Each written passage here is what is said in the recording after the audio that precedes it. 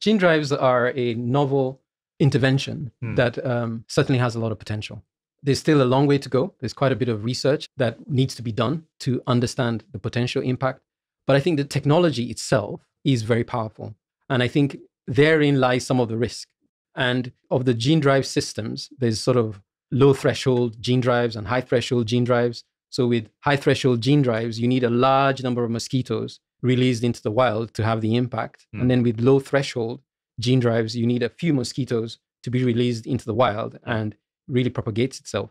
And then within those, you have some gene drive that help that once introduced will suppress the population of mosquitoes or insects. And then you have some gene drives that will modify elements within the mosquito or the insect to cause it to not be as efficient or not able to perpetuate a particular attribute.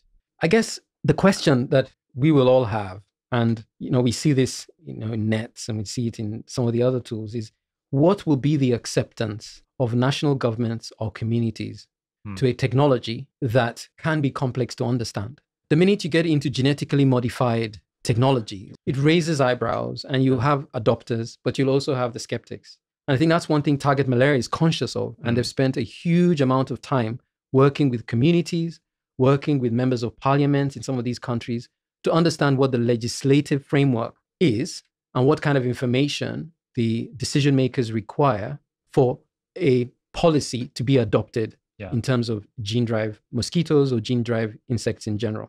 Now, with this type of technology, you can't simply say I'm releasing it in one country and it's not going to spread to the next country. So, not only do you need a country adoption, you probably need regional adoption. And that requires you to also be able to engage with all these communities. This is a really powerful tool, but I Mm. think in its power lies some of its risk.